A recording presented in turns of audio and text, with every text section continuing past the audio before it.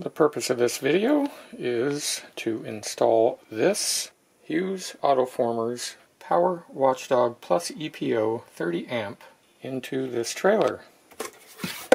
It looks like that.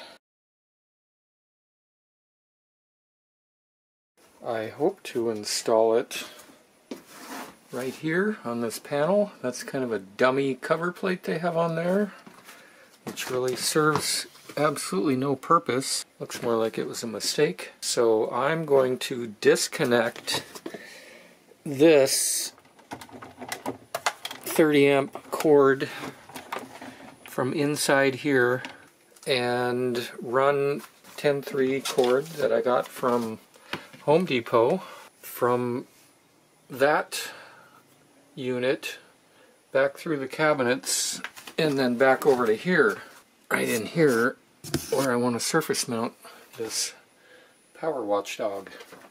If I'm unable to put it over there for some reason, if it doesn't fit, which it may not, uh, it's probably going to end up inside this cabinet somewhere.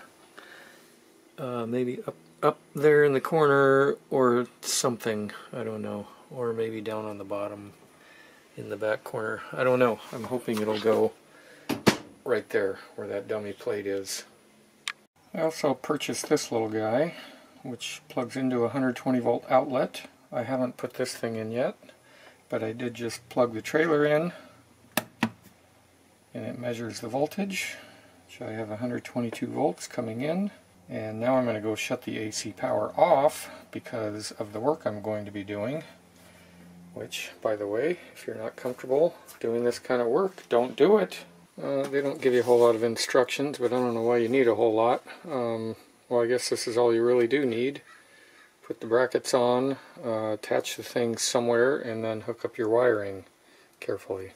Kind of a little manual thing on how to use it, and this thing is Bluetooth. I'm going to put these brackets on and then see if I can fit it inside here, and I'm a little worried that it won't fit because it's too fat, too deep.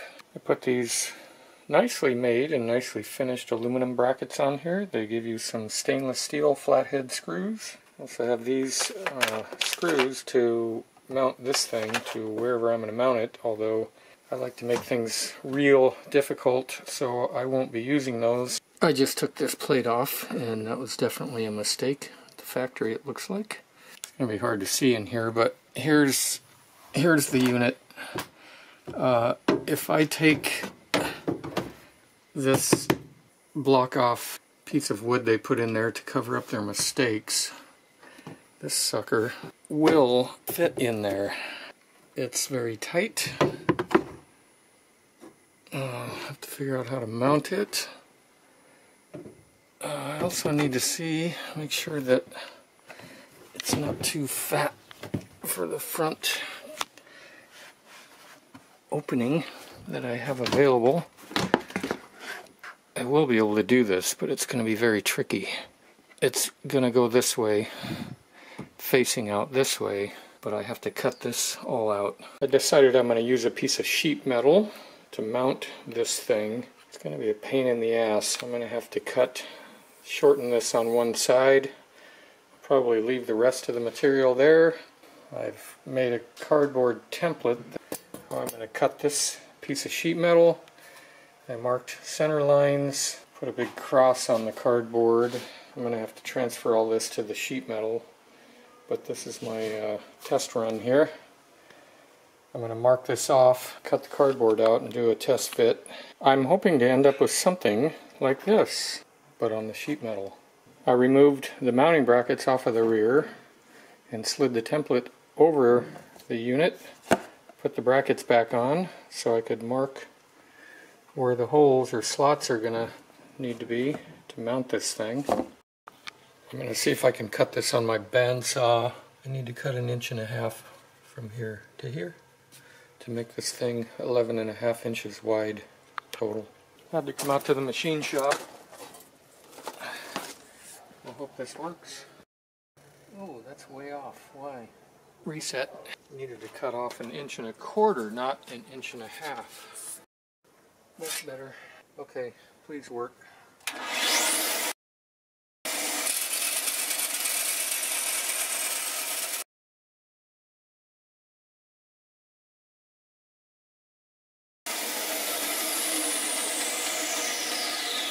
That worked beautiful. Never, never cut steel sheet metal like that on this bandsaw. Nice. This panel is going to go right here. Now I got to make the cutout in the center.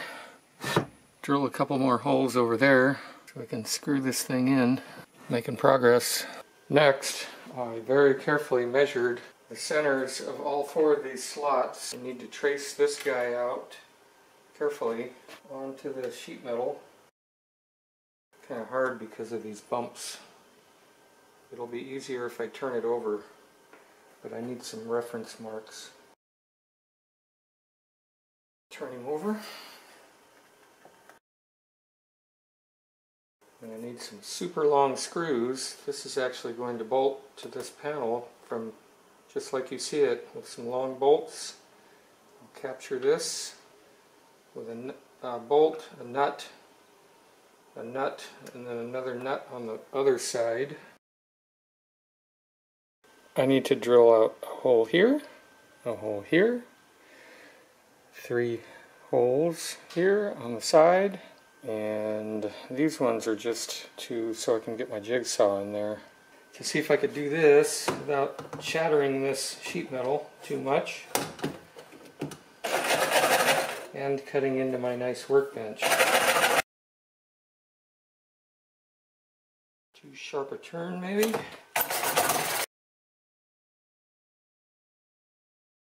Trying to preserve the uh, flat black paint on the other side of this thing. I Don't know if I'm going to be able to do that. I don't want to repaint it.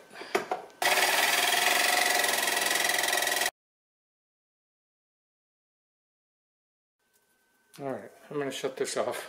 I think I got it. Got a rough cut. Uh, I guess I should check and see if the cutout is big enough. It would be really bad if the cutout wasn't big enough. Looks pretty good if it fits over this guy. It's going to take just a little filing on the corners. I expected that. Probably should have just made it a little bigger.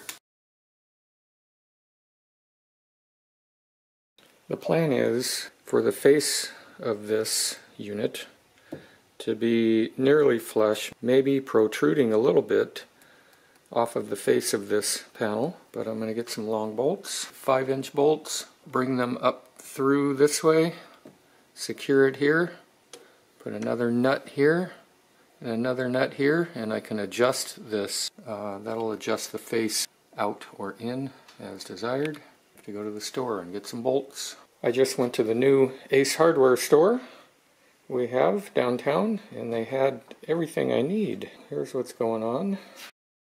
I think this is looking pretty good. We'll give it a test fit on the rig. I need to cut a hole in this panel about from here to here. I'm going to see if I can do it with my sheetrock saw. Looks like I won't cut any wires or heating duct.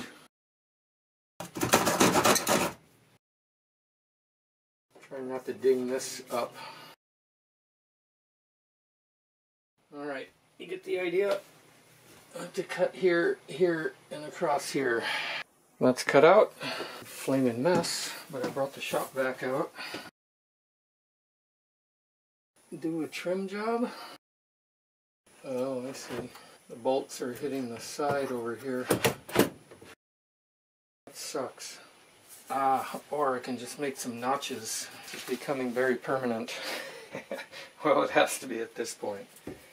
Yeah, getting in a little deeper here. I'm going to notch these out a little bit. The long bolts can clear these areas.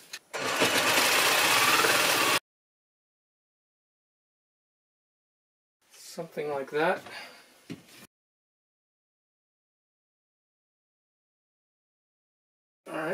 Next test fit. That's better. That's what I was after. Nice. Got a little bit of room to play here, up and down. Good job, Ken. Remember wristwatches? Looks like it's about time to go for a motorcycle ride. I'll be back. I've marked the six mounting holes the sheet metal panel. I'm going to drill uh, drill some pilot holes right now because I want to install on the backside T-nuts like this so that this will be easy to remove in the future. I won't have to take that uh, that panel off over there. Uh, this will just come out the front side. I'll leave enough service loop on the electrical cords so that I can remove the bolts from the front side and pull this thing out should I ever need to service it. But I don't know if I'm going to get T-nuts on these guys. This side's going to have to be wood screws.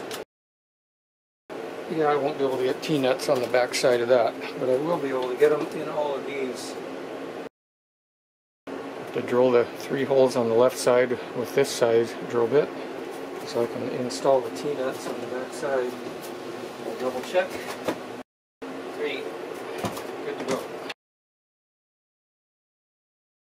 How do you install the T-nut? See this bolt? It's a little bit too long. This T-nut watch. Put that through the hole, thread the T-nut on there, take the drill in forward or clockwise. This is going to just draw that these teeth into the particle board over here.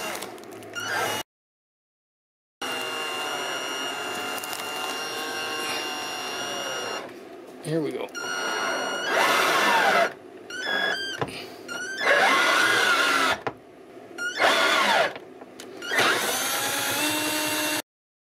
So the best thing to do is get a staple gun and staple this so it'll never fall out, but I'm not going to do that. Now I have a method of driving this bolt through and attaching my panel on there. Next, I need to drill these three holes out so that my quarter inch bolts will go through. Again, these three over here are going to just get wood screws into the particle board. I think I'm going to cut both the top and the bottom off because they have these extra holes here that I'm not going to use and I just can't stand it. That one on the bottom you can't see uh, right there is going to show and I just can't have that so I'm going to cut this off. It'll look a little bit more like it was meant to be there. I just cut 5 eighths of an inch off of the top, off of the bottom and I opened these three mounting holes up to 5 16ths for the quarter inch mounting bolts. This shore power cable that was going into this unit is going to go to the input side of the watchdog over there. So I need to disconnect the cable and move it from back here, back behind all this business. I can see it uh, back there in the corner. I don't know if it's going to show up. I'm going to pull it through to here. The black wire is going to the breaker. The white wire is going to this neutral bus. The green wire is going to this ground bus.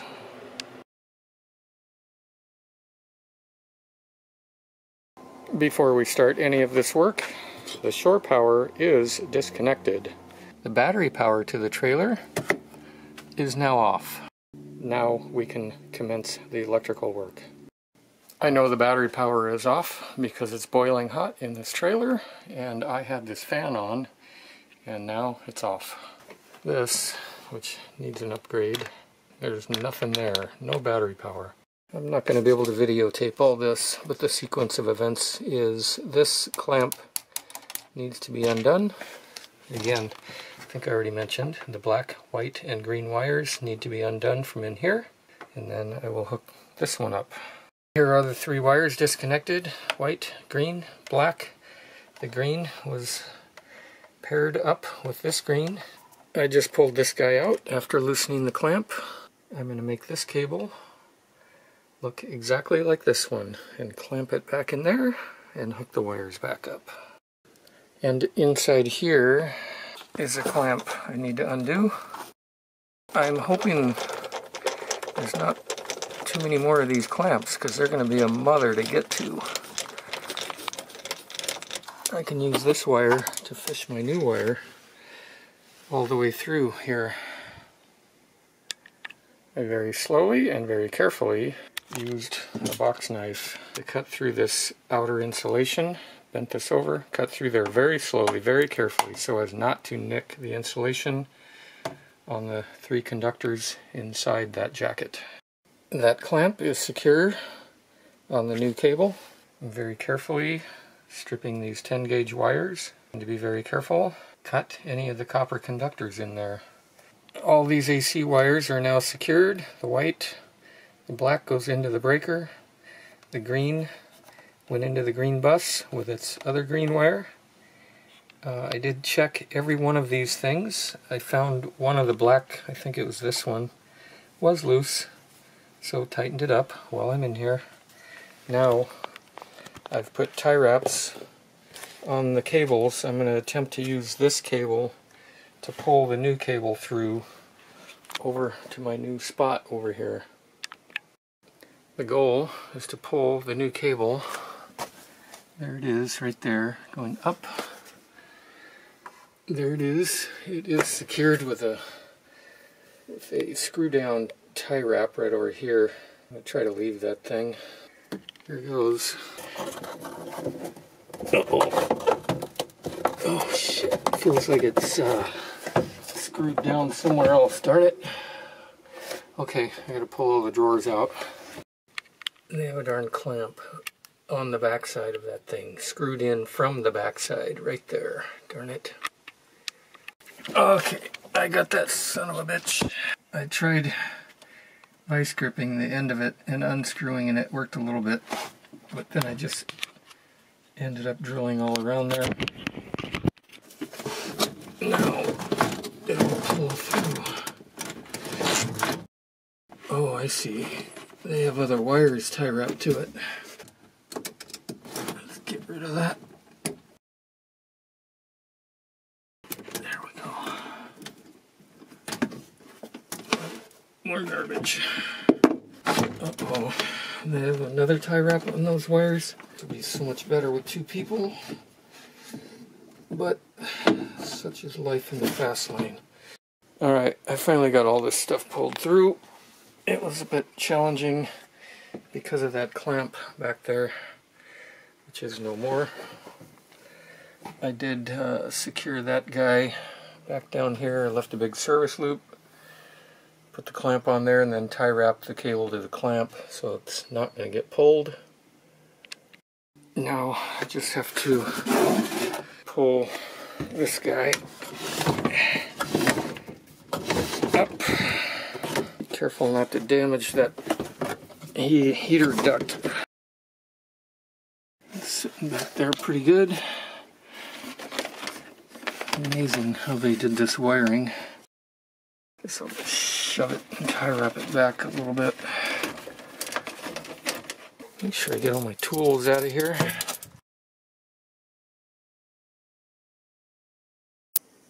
I don't really understand what you're going to do. I trust you. You sure? Here's the two cables. I put a clamp there. Uh, I secured that cable. That one under the clamp is the shore power. I want to make sure that's not going to get pulled out. It's also clamped back up in there. Screw down tie wrap. These two 10-3 cables coming through two, I think they were 15 16 inch holes I drilled. Coming here, this is the shore power which will go to the top of the watchdog. This one is going to the trailer side. I'm going to start final assembly on this. Uh, we're going to start with these quarter 20 by 5 inch bolts and some small pattern flat washers under the heads.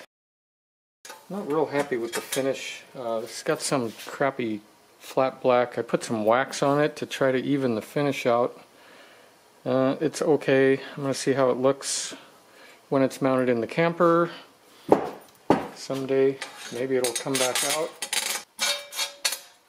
and get powder coated a quarter 20 lock nuts.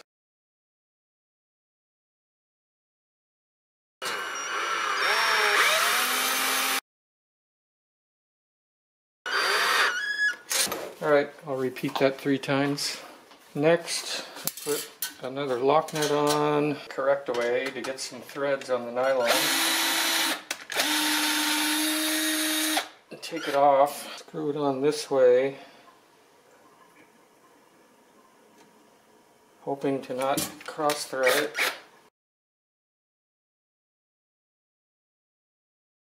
These are going to give me the height adjustment to get the face of the watchdog flush or however I want it to look on the face of this thing. Typically this would go up, uh, I suppose, flat against a wall and it would be secured this way so these would never have a chance to come out. Not the way I'm doing it. That thing's not coming out yet so I have to bring these height adjusting nuts down a little bit. about a half inch more. So one and one sixteenth. About there. And I'll repeat that three more times. I think that thing's sticking out a little bit too much. I don't think it needs to stick out that much. It's about 15 sixteenths. I think I'm going to leave it there the beauty of this is I can fine tune this as desired by adjusting these nuts. Four more lock nuts on here.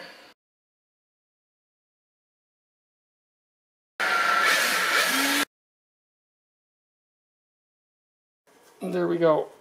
One power watchdog mounted on a sheet metal panel. I need to wire it up and screw it on green, neutral, load. It's going to be green, white, black.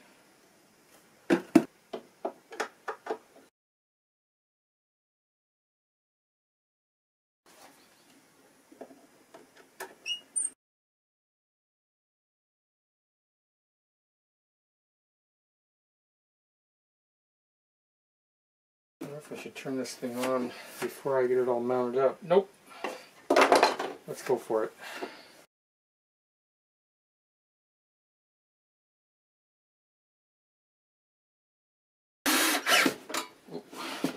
Now we have some extra long bolts here. Flat washer, black plastic washer under the flat washer. This is going to go in. I will strain relief these. I didn't open these holes up, darn it. Out we come. Let's try that again. Open these three mounting holes up. Also took a obstruction out here. Hopefully I'll never have to take this sucker out for service. Oh, nice. Okay, I got excited and I had to put this in upside down. Now I flip it over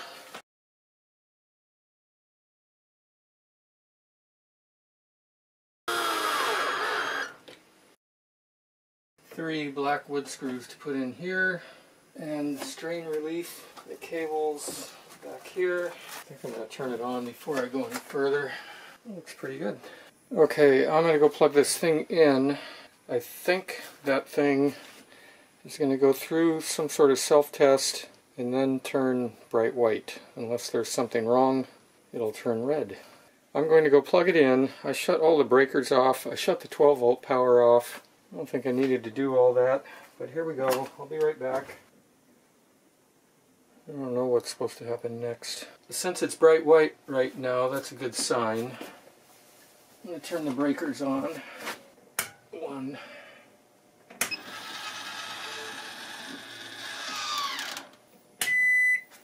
Everything is on. This guy says we have 120 volts coming in. So everything's working the way it should. This will only light up if there's some sort of error. Uh, they have the codes here, E1 through E9.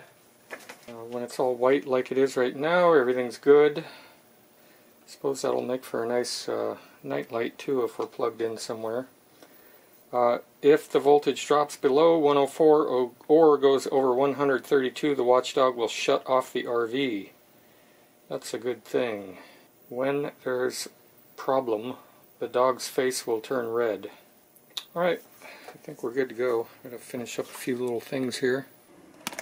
Alright, before I put this panel on, I strain relieved that cable that's going to the top and this one on the bottom.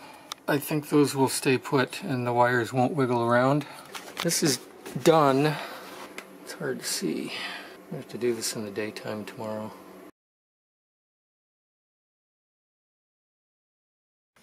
I'm done with this installation.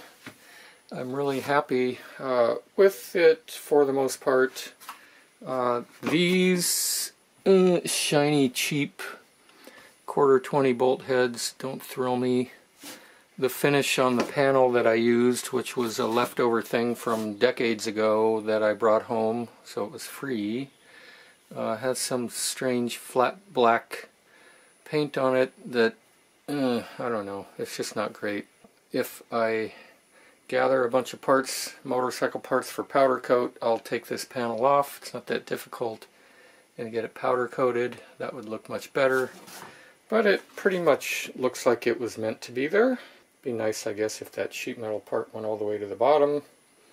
But I'm done with it. So it's that. I also purchased this ground neutral plug so that when I plug the camper into the generator this will fix a neutral problem, floating neutral problem I guess generators have and I got this little device here that will just plug into any outlet and display the AC voltage coming in.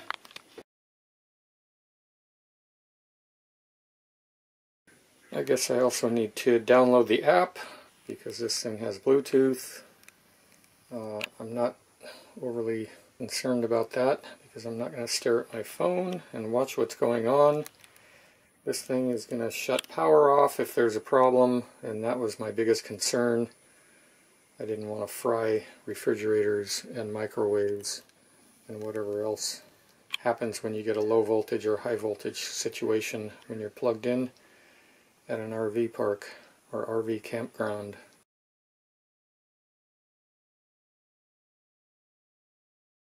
There's other YouTube videos online that will show you and tell you all about the app on your phone. I won't be doing that.